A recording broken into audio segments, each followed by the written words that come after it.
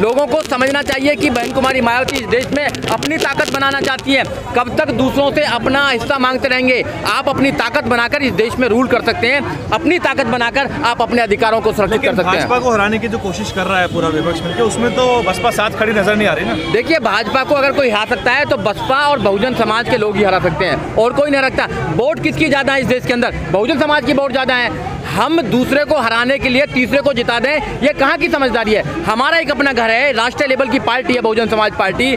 देश के तीसरे नंबर की पार्टी है। हम अपनी पार्टी को मज़बूत क्यों नहीं करते हैं? मैं आपके चैनल के माध्यम से देश के बहुजनों को बताना चाहता हूँ कि आप अपनी पार्टी को क्यों नहीं बचाना चाहते? अपनी पार्टी को मज़बूत क्यों नहीं करना चाहते? अपनी ताकत क्यों नहीं बनाना चाहते? आप दूसरों के पास जाकर आप क्यों भीख मांगना चाहते हैं? आप क्यों क्यों सीटों की लड़ाई लड़ना चाहते हैं? आप अपनी सरकार बनाएँ, अपने लोगों के लिए वोट दें, अपनी पार्टी को मज़बूत बनाएँ। आप सरकार में होंगे आप अगर सरकार को झुकाने और गिराने की अगर पक्ष में होंगे, ताकत में होंगे तो आपके अधिकारों को सुरक्षित रखा जाएगा। नहीं तो ये संविधान बदलने की बात कर रहे हैं। ये संविधान बदलने का बात करेंगे। अगर बहुजन समाज पार्टी सत्ता में होगी, बहुजन समाज पार्टी अगर इतनी भी सीट लेकर आ जाएगी कि हमारे सिवाय किसी की सरकार न बने तो ये बदलने के छोड़ो ये हाथ भी नहीं लगा सकते हैं क्योंकि ये लोग कमज़ोर लोग हैं और कमज़ोर लोग हमारी वोटों से ताकतवर बने पड़े ये हमारे समाज को सोचना चाहिए। कहा जा रहा आपके पास वोट तो बचा ही नहीं ना।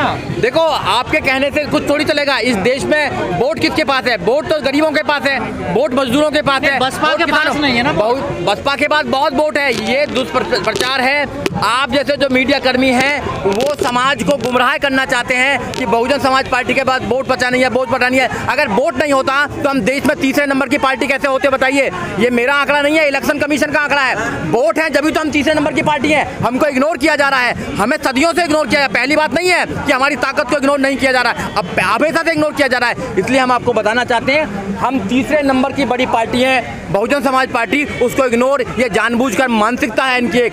मनुवादी मानसिकता और ब्राह्मणवादी मानसिकता के कुछ नहीं है। कोई खत्म नहीं है आपके कहने से खत्म नहीं हुई है। हमारी पार्टी मज़बूत पार्टी है। दस हमारे मेंबर ऑफ़ पार्लियामेंट है एक राज्यसभा का मेंबर है। लाखों करोड़ों लोग हमारे वोटर्स हैं सपोर्टर्स हैं। हम एक विचारधारा के काम कर रहे हैं।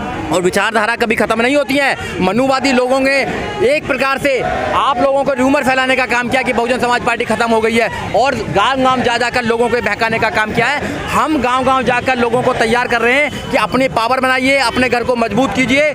दूसरों में घर में जाकर आप कभी भी ताकतवर नहीं बन सकते हैं। दूसरे के घर वाले कब आपको कान पकड़ कर निकाल दें ये उनका भरोसा नहीं। आपने दिल्ली में देखा ना? राजेंद्र गौतम जी को देखा आपने? बाबा साहब डॉक्टर अंबेडकर की बात करने वाले बाईस प्रतिज्ञा अगर लेते हैं तो कान पकड़ कर उनको निकाल दिया जाता है। दूसरी पार्टियों में आप पूछ की तरह हैं, आप लंबे तो हो सकते हैं, ताकतवर नहीं हो सकते। बहुजन समाज पार्टी में आपकी अपनी पार्टी है, आपकी अपनी परिवार है, आपका अपनी ताकत है, उसको बनाइए, उसको आप बिखरने मत दीजिए। क्या वाकई में जैसे आरोप लग रहे हैं आप कि बीजेपी से संपर्क चल रहा है आप लोगों का? कितनी सच्चाई है? आरोप कौन लगा रहे हैं? आरोप वो लोग लगा रहे हैं जो बहुजन समाज पार्टी को बहुजन समाज की ताकत को कमज़ोर करना चाहते हैं। ये आरोप हमेशा साथ लगते आए हैं। आप देखिए हमारी पार्टी बहुजन समाज पार्टी की नेता बहन कुमारी मायावती सब पर भारी हैं सब पर भारी हैं। उन्होंने निर्णय लिया कि हम अपनी ताकत बनाने का काम करेंगे। हम खुद लड़ेंगे। हम कैसे भीख मांगने चले जाएँ? क्या किसी से? वोट हमारी ज़्यादा है राज हमारा होना चाहिए और हम उनसे मांगे कि हमको सीट दे दीजिए। हम नहीं मानेंगे। आपके साथ ही नहीं है। आपकी गलत फहमी है हमारे लोग साथ नहीं है हमारे लोग साथ नहीं है। भैया हमारे लोग साथ नहीं होते तो कम, कम से कम पढ़ाई करो। आप जाओ इलेक्शन इलेक्शन उस पर जाइए, कमीशन पर जाइए। इलेक्शन कमीशन की वेबसाइट देखिए, बहुजन समाज पार्टी देश के तीसरे नंबर की पार्टी है। वैसी पार्टी बन गया अगर लोग नहीं है तुम्हारे। एग्ज़ाम दे के बनते हैं क्या?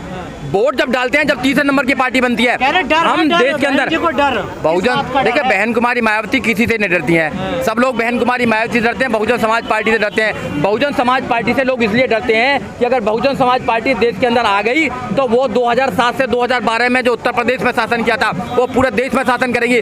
ज़ीरो बैलेंस पर बच्चों का एडमिशन होगा। जो आज पढ़ाई हो रही है ना वो लाखों करोड़ों रुपया देकर जो पढ़ाई होती है वो ज़ीरो बैलेंस पर होगा। जो आज सुसाइड कर रहे हैं हमारे बच्चे आईआईटी में सुसाइड कर रहे हैं जो अभी निकाला जा रहा है ऐसे बच्चों के साथ शोषण नहीं होगा। लोगों को न्याय मिलेगा। स्वतंत्रता की बात की जाएगी। संविधान के द्वारा देश को चलाया जाएगा। प्लान किंग मेकर बनने का है क्या? देखिए हम किंग बनने का प्लान है। किंग मेकर का नहीं हम किंग बनेंगे। आप देखना मैं आपके चैनल के माध्यम से बहुजन समाज के लोगों को कहना चाहता हूँ कि अब 2024 में मौका है अपना सरकार बनाइए अपनी पावर बनाइए। ऐसा कौन सा व्यक्ति है जो अपने घर को तोड़कर दूसरों को घर को मज़बूत करता है? बताइए। अपने घर को मज़बूत करिए माननीय काशीराम साहब ने अपना पूरा जीवन लगा दिया। उस घर को बनाने के लिए। तो इसलिए अपने घर को मज़बूत कीजिए। अगर घर एक बार मज़बूत हो गया तो जो शोषण हो रहा है आज जो शोषण आप देख रहे हैं ये किसी बहन बेटी पर किसी भाई पर कभी शोषण नहीं होगा। ये शोषण इसलिए हो रहा है क्योंकि तुम्हारी कोई राजनीतिक पावर नहीं बनाई आप लोगों ने। आप बहकावे में आ जाते हैं आप दुष्प्रचार में आ जाते हैं और आप दूसरे लोगों की बात करने करते हैं कि बहुजन समाज पार्टी तो कमज़ोर है कमज़ोर है। हम कमज़ोर नहीं है। चौबीस में? हम इतनी सीट जीते हैं कि हम सरकार बनाएँगे।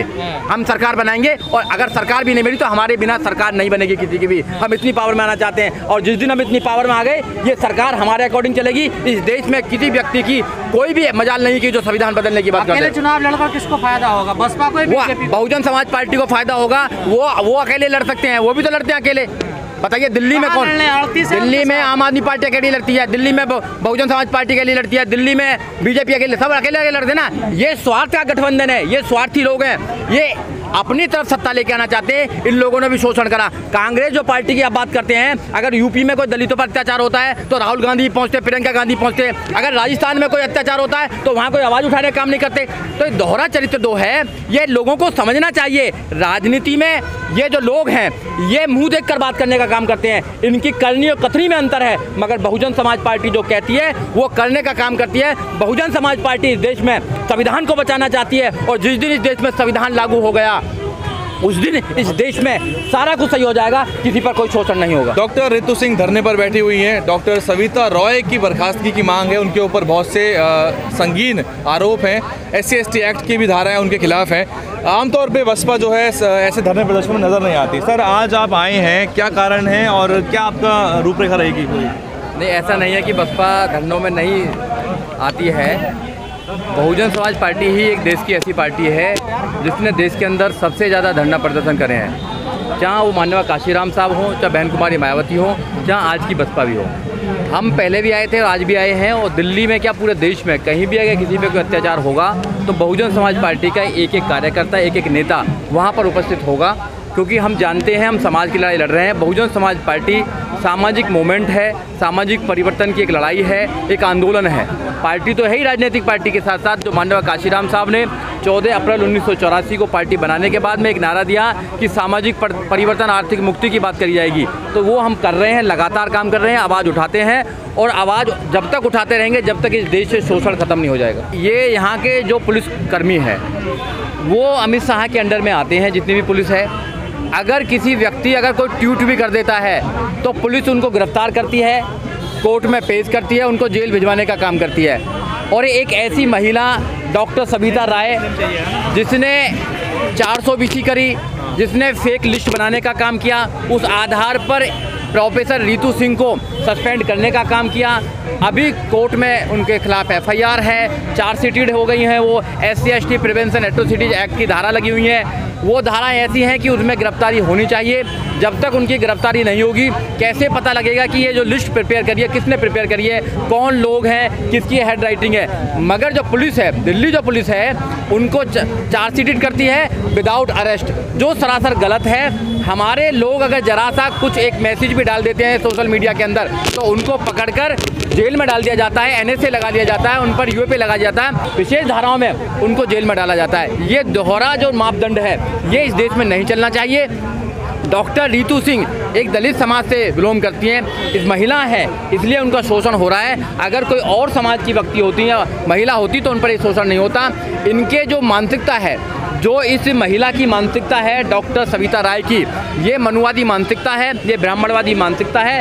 ये लोग हमेशा से ब्राह्मणवादी जो चीज़ें उनको आगे बढ़ाने का काम करते हैं और इनकी किताबों में लिखा हुआ है कि महिला नहीं पढ़ सकती है। हमारे बच्चे पढ़ लिख कर आगे आ रहे हैं। I S, P C doctor, engineer, professor, जज, वकील बन रहे हैं। तो ये रोकना चाहते हैं। आज भी लोगों का अंगूठा काटा जा रहा है। ये नौकरी छीन रहे हैं। ये नंबर काटने का काम कर रहे हैं, जो सरासर गलत है। इसलिए ये आंदोलन हो रहा है। लेकिन वकील साहब, टीवी की मीडिया आपकी पार्टी पे आरोप लगा रही है कि इंडिया के साथ ना जाके बीजेपी को फ़ायदा पहुँचा रहे हैं आप। लालू यादव कह रहे हैं कि बुलाया ही नहीं मायावती जी को। शरद यादव कह रहे हैं पहले भाजपा संबंध तोड़ें। हम क्या फुटबॉल हैं? दस साल कांग्रेस लात मारेगी, हम किक मारेगी। फुटबॉल की तरह बीजेपी की तरफ़ चले जाते हैं हमारे लोग। बीजेपी लात मारेगी, फुटबॉल की तरह हम कांग्रेस की तरफ़ चले जाते हैं। हम अपनी ताकत कब बनाएँगे? हम अपनी ताकत बनाना चाहते हैं। बहुजन समाज पार्टी की नेता बहन कुमारी मायावती ने क्लियर कट कह दिया है कि हम अपनी ताकत बनाएँगे। इस देश में बहुजन समाज, पिचासी परसेंट बहुजन समाज है और वोट हमारी है, राज उनका चल रहा है। जो माननीय काशीराम साहब का नारा था, वोट हमारा राज तुम्हारा नहीं चलेगा नहीं चलेगा। उस नारे पर बहन कुमारी मायावती देश के अंदर राजनीति कर रही है और हम ताकत में आएँगे और 2024 के चुनाव में बहुजन समाज पार्टी एक नई क्रांति और एक नई ताकत बनाने का काम कर रही है। लोगों को समझना चाहिए।